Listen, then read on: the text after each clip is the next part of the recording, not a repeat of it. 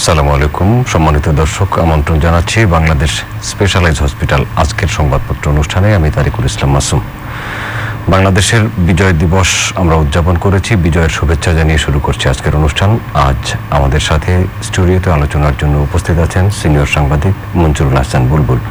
আপনাকে আমন্ত্রণ জানাচ্ছি। ভালো আছেন নিশ্চয়ই? পত্রিকাগুলো শিরোনাম দেখে আসব। দৈনিক ইত্তেফাক। বিজয়ের দিনে বীর শহীদদের প্রতি জাতির শ্রদ্ধা। হাফিজ শওকতকে শোকজ নেপথ্যের কারণ রহস্যময়। যে কোনো পরিস্থিতি সহনশীলতার সঙ্গে মোকাবিলা করতে হবে বিজয় দিবসের আলোচনায় প্রধানমন্ত্রী। শেখ হাসিনা, নরেন্দ্র মোদী ভার্চুয়াল বৈঠক আজ কয়েকটি সমঝোতা স্মারক স্বাক্ষরের সম্ভাবনা। বাংলাদেশ প্রতিদিন অসাম্প্রদায়িক হিসেবে বাংলাদেশ পরিচালিত হবে। প্রধানমন্ত্রী, দেশের মানুষের পৈতৃক সম্পত্তি পদ্মা সেতু, আইনমন্ত্রী। সংকটের শেষ নেই সরকারি হাসপাতালে। গুরুত্বভাবে ভ্যাকসিন পানিসহ নানা ইস্যু। শেখ হাসিনা, নরেন্দ্র মোদী ভার্চুয়াল বৈঠক আজ। বাণিজ্য সক্ষমতা উন্নয়নে পাঁচ লাখ ডলার দেবে এডিবি মডার্না ভ্যাকসিনও অনুমোদন দিচ্ছে যুক্তরাষ্ট্র। মানব জমিন। হাসিনা, মোদী বৈঠকে গুরুত্ব পাবে যেসব ইস্যু। বিজয়ের দিনে এগিয়ে যাওয়ার শপথ। লেবানন থেকে ফেরাতে হচ্ছে দশ হাজার বাংলাদেশিকে। শীতের শুরুতেই রাজধানীতে গ্যাস সংকট। রাজনীতিতে হঠাৎ কি হলো? আমাদের সময়। দেশে করোনায় আরও সাতাশ মৃত্যু, এক হাজার ছয়শো বত্রিশ শনাক্ত। স্বাস্থ্যমন্ত্রী জানালেন, জানুয়ারির শেষে ভ্যাকসিন আনার চেষ্টা চলছে। মহান বিজয় দিবস উদযাপিত। উগ্র মৌলবাদ প্রতিরোধের শপথ। মুক্তিযুদ্ধের স্মৃতি বিজড়িত স্থান ও বৌদ্ধমূর্তি সংরক্ষণ। রায় বাস্তবায়ন হয়নি এক যুগেও চিহ্নিত করা হয়েছে দুশো একাত্তর বৌদ্ধভূমি। কালের কণ্ঠ। শেখ হাসিনা বললেন এদেশের সব ধর্মের মানুষ সমান সুযোগ নিয়ে চলবে। অসাম্প্রদায়িক দেশ গড়ার অঙ্গীকার মহান বিজয় দিবস উদযাপিত। বাংলাদেশ প্রসঙ্গে চীন এক বিস্ময় বঙ্গবন্ধুতে, অন্যটি শেখ হাসিনায়। মডেল সম্পর্ক এগিয়ে নেবে ঢাকা ও দিল্লি। শেখ হাসিনা ও নরেন্দ্র মোদীর নেতৃত্বে আজ বৈঠক। ভোরের কাগজ। রুখে দাঁড়াও বাংলাদেশ। মহান বিজয় দিবসের আহ্বান।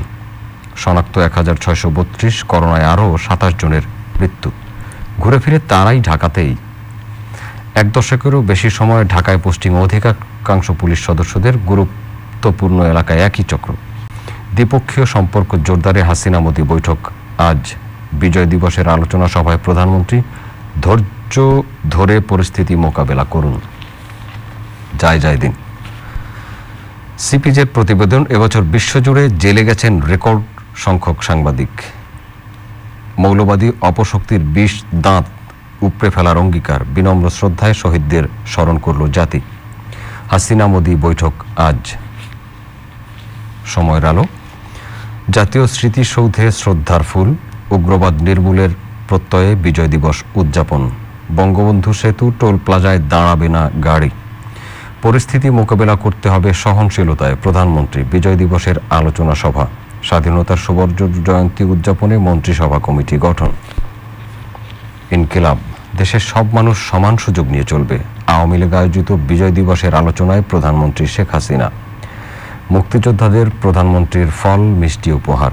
শেখ হাসিনা, মোদি ভার্চুয়াল বৈঠক আজ, কি কথা হবে? নয়টি সমঝোতা স্মারক স্বাক্ষর হতে পারে। স্মৃতিসৌধে মানুষের ঢল গভীর শ্রদ্ধায় বীর শহীদদের স্মরণ। The Daily Sun Hasina Modi virtual summit today nine deals likely to be signed bilateral trade water sharing Rohingya crisis to figure high on agenda Hasina keeps surprising world with national achievements say Chinese envoy Awami League page tribute to Bangabandhu. Victory day celebrated renewed oath to wipe out communal forces. The business standard nation pays tribute to its heroes. Padma Bridge shows country's manufacturing might.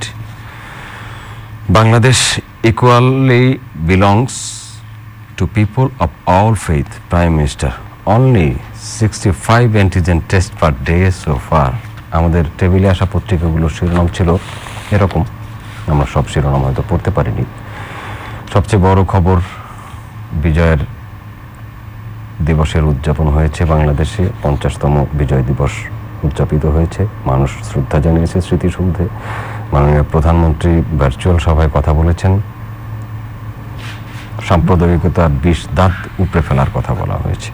অত্যন্ত সঙ্গত কারণে আজকের সমস্ত পত্রিকা বিজয় দিবস উদযাপনের খবর যেহেতু আজকেই ভারতের প্রধানমন্ত্রী নরেন্দ্র মোদীর সঙ্গে মাননীয় প্রধানমন্ত্রী বৈঠক হবে। অত্যন্ত সঙ্গত কারণে এই বিষয়গুলি আছে। বিজয় দিবসের দিনের জাতির উদ্দেশ্যে মাননীয় প্রধানমন্ত্রীর ভাষণ এবং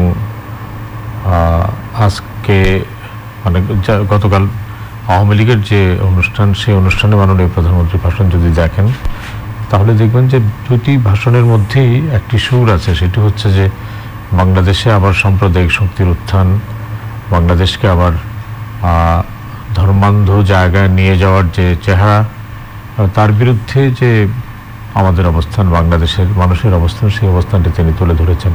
এবং এটি হচ্ছে আমাদের বাংলাদেশের মূল মূল অবস্থান।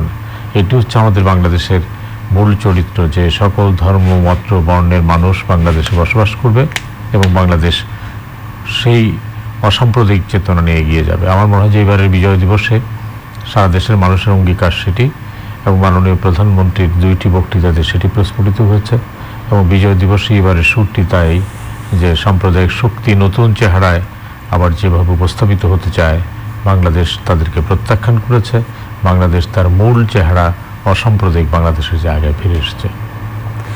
আচ্ছা হঠাৎ করেই বা হঠাৎ করে বঙ্গবন্ধুর ভাস্কর্য নিয়ে কিন্তু সাম্প্রদায়িক শক্তি বা এগুলো অবশ্য যারা বলেছেন তারা কোনো না কোনো রাজনৈতিক দলের সঙ্গে সম্পর্কিত এবং ধর্মীয় সংগঠনের সাথে সম্পর্কিত। একসাথে দুই ধরনের সুবিধা নেওয়ার প্রচেষ্টা কি এটা? এটি আমি বহু অনুষ্ঠানে বলেছি যে দুই হাজার তেরো সালের সঙ্গে তেরো সালে যখন হেফাজত শাপলা চত্বরে সমাবেশ করে, তখন যে তাদের তেরো দফা ছিল, সেই তেরো দফার মধ্যে ভাস্কর্য বিষয়ক ইস্যুটি ছিল সাত নম্বর দফা। এই সাত নম্বর দফা তেরো সন থেকে আজকে বিশ সন। এই বিশ সাত বছর পরে আবার হঠাৎ করে তাদের সাত নম্বর দফা কেন এক নম্বর দফায় রূপান্তরিত হচ্ছিল, এটা বোঝা যাচ্ছে না। এটি হলো এক। দুই নম্বর যেটি হচ্ছে যে সব আরও অনেক ভাস্কর্য আছে। কোনো ভাস্কর্যকে টার্গেট না করে তারা বঙ্গবন্ধুর ভাস্কর্যকে টার্গেট করল। তার মানে উদ্দেশ্যটি কি? উদ্দেশ্যটি কি বঙ্গবন্ধু? ভাস্কর্য না। উদ্দেশ্যটি কি কোনো ইস্যু নাই দেশে। সেই ইস্যুতে ইস্যুর মধ্যে নতুন কোনো ইস্যু তৈরি করে সেখানে বাংলাদেশকে আবার একটা নতুন সাম্প্রদায়িক জায়গায় নিয়ে যাওয়া। ইস্যুটিকে এইরকম যে বাংলাদেশের যখন বঙ্গবন্ধু জন্মশতবার্ষিকী পালিত হচ্ছে, যখন আমরা স্বাধীনতার সুবর্ণ জয়ন্তী পালিত, পালন করতে যাচ্ছি, তখন বঙ্গবন্ধুর ভাস্কর্যের মতো একটা নন ইস্যুকে ইস্যু করে নতুন কোনো জায়গায় বাংলাদেশকে নিয়ে যাওয়ার চেষ্টা। এখানে যারা বক্তব্য দিচ্ছেন, তাদেরই কি, তারাই কি মূল শক্তি? তাদের পিছনে দেশে বা বিদেশে কোনো সাম্প্রদায়িক শক্তি আছে? কোনো ষড়যন্ত্র করে আছে? আমরা কিছু কিছু ষড়যন্ত্রের গন্ধ দেখতে পাচ্ছি। তারা কি আছে সেখানে? কাজে অনেকগুলি প্রশ্নের জবাব এখানে আপনাকে খুঁজতে হবে। এবং সেই প্রশ্নের জবাব না খোঁজা পর্যন্ত আসলে এর মূল রহস্যটিকে জানা যাবে না। কিন্তু আমার ধারণা বিজয় দিবসে গোটা জাতির যে অঙ্গীকার, মাননীয় প্রধানমন্ত্রীর জাতির উদ্দেশ্যে যে ভাষণ, আওয়ামী লীগের সমাবেশে যে ভাষণ, সেই ভাষণে বাংলাদেশে স্পষ্ট জবাব দিয়েছে যে কোনো সাম্প্রদায়িক শক্তির কাছে বাংলাদেশ মাথা নত করবে না। আমরা দেখেছি এই ধর্মের নামে জিগির উঠেছিল ভাষা আন্দোলনের সময়।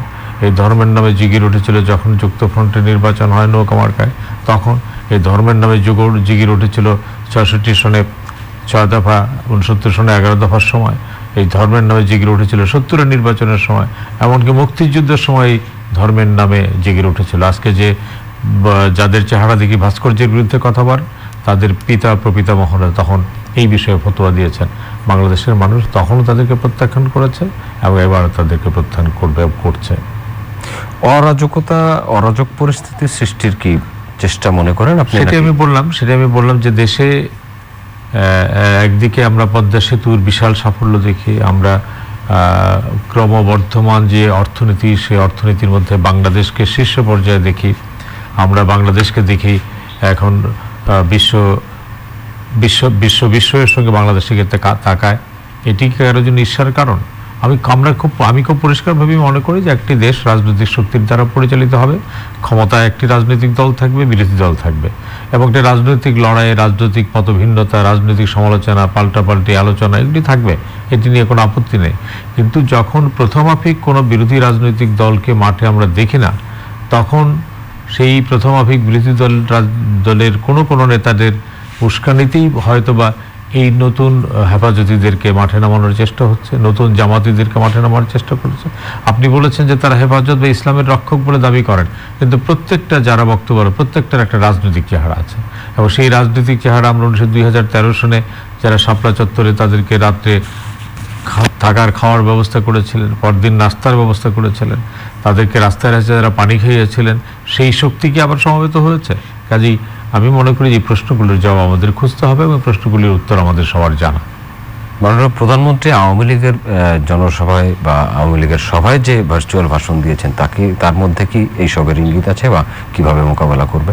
ভালো আমার মনে হয় যে মাননীয় প্রধানমন্ত্রী জাতির উদ্দেশ্যে ভাষণ এবং আওয়ামী লীগের সমাবেশে যে ভাষণ সেই ভাষণে তিনি স্পষ্ট বলেছেন। এই বাংলাদেশ স্বাধীন করেছে সকল ধর্ম বর্ণ গোত্রের মানুষ। পবিত্র ইসলাম আমাদেরকে সকল ধর্মের সাথে শান্তিপূর্ণ সহাবস্থানের শিক্ষা দেয়। বাংলাদেশ সেই অসাম্প্রদায়িক চেতনার উপর দাঁড়িয়েছে। বাংলাদেশ কি ভাষা আন্দোলনে, কি যুক্ত ফ্রন্ট নির্বাচনের সময়, এমনকি আওয়ামী লীগ থেকে যখন সাম্প্রদায়িক শব্দটি ফুলে ফেলে দিয়ে আওয়ামী লীগ আওয়ামী লীগ হলো, তখন থেকে বাংলাদেশ কিন্তু স্পষ্টভাবেই একটা অসাম্প্রদায়িক রাষ্ট্রের চেহারা নিয়ে দাঁড়িয়ে আছে এবং একাত্তর সনে আমরা সেই চেহারাটি প্রত্যক্ষ করেছি এবং আমরা স্বাধীন বাংলাদেশটি একটা অসাম্প্রদায়িক জাতিসত্তার উপর দাঁড় করানোর চেষ্টা করেছি। আমাদের সংবিধানের মধ্যে যে চারটি মৌলনীতি আছে, সেই মৌলনীতির একটি হচ্ছে ধর্মনিরপেক্ষতা, সেটাকে নানাভাবে ব্যাখ্যা করা হয়েছে, কিন্তু বঙ্গবন্ধুর এই ধর্মনিরপেক্ষ চিন্তাটি ছিল একটি অসাম্প্রদায়িক রাষ্ট্র গড়ে তোলার জন্য। এবং সেই বাংলাদেশে আমরা ফিরে যেতে চাই।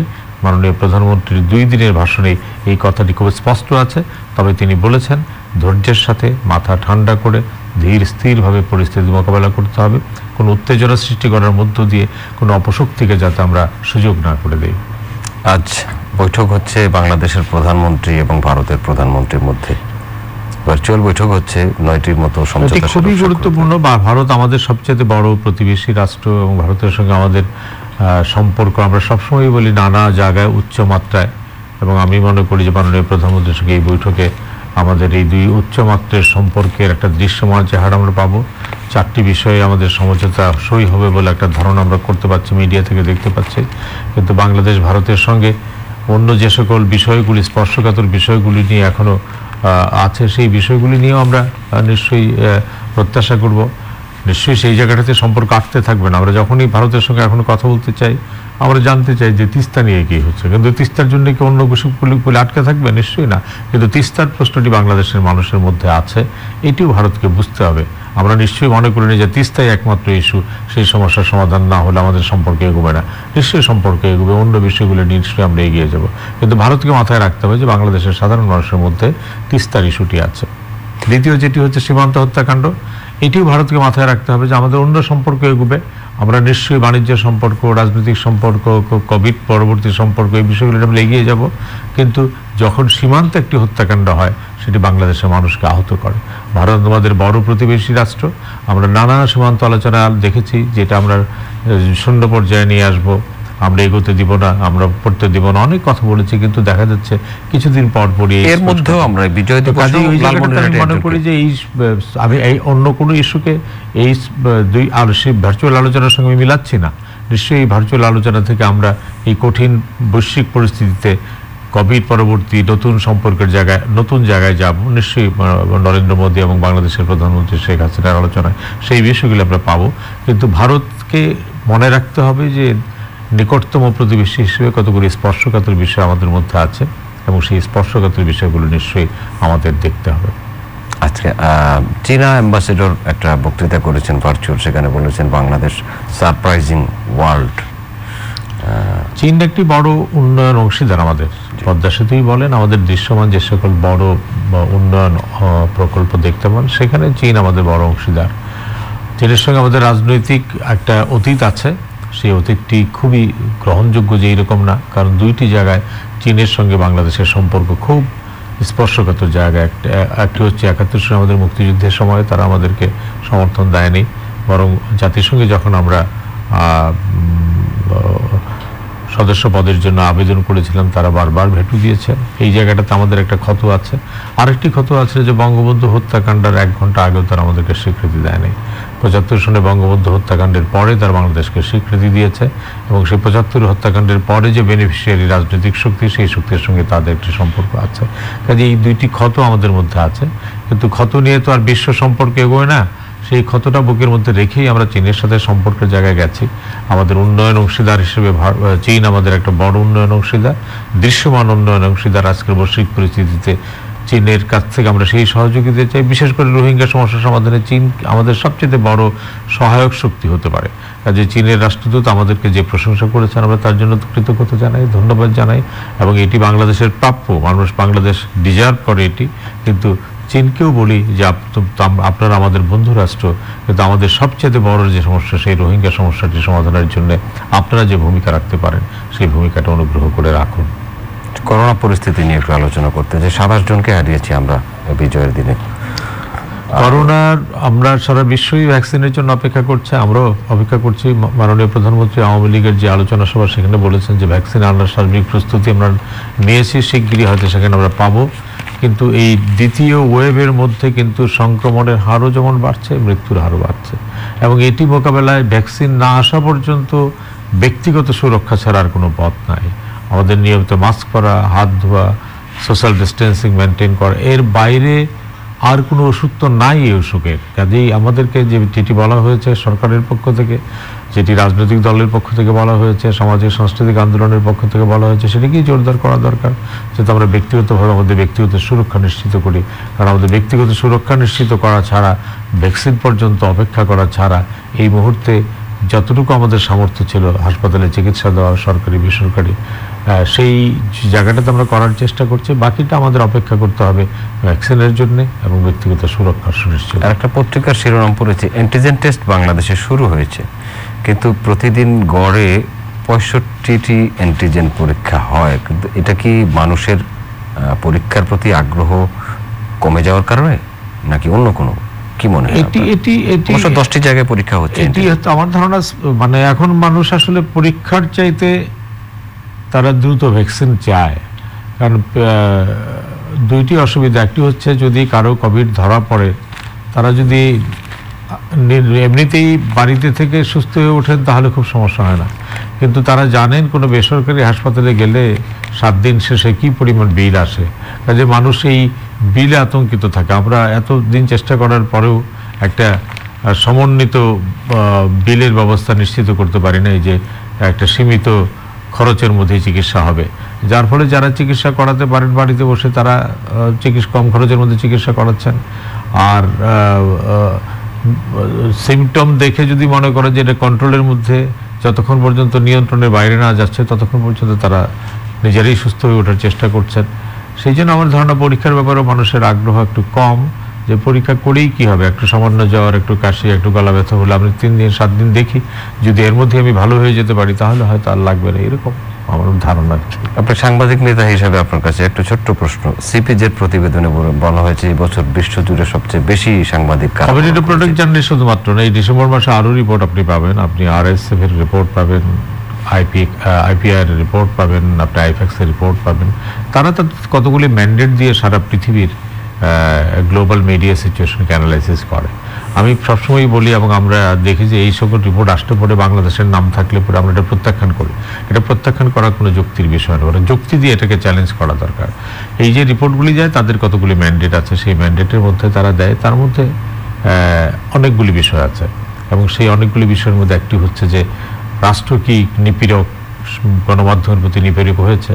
রাষ্ট্র কি এমন কোনো আইন প্রণয়ন করেছে যার মধ্য দিয়ে রাষ্ট্র সাংবাদিকদের বিরুদ্ধে সেই আইনের অপপ্রয়োগ করছে? রাষ্ট্র কি সাংবাদিকদের হত্যা করছে? আবার উল্টো দিকে এইটাও বলে যে রাষ্ট্র তো স্টেট নন স্টেট অ্যাক্টররা কি করছে? নন স্টেট অ্যাক্টর কি সাংবাদিকদের ভয় দেখাচ্ছে? নন স্টেট অ্যাক্টর কি সাংবাদিকদেরকে খুন করে ফেলছে গুম করে ফেলছে আমার সরকার বিচার করছে? কাজে এই সবগুলি মিলিয়ে রিপোর্টটি দিয়েছে।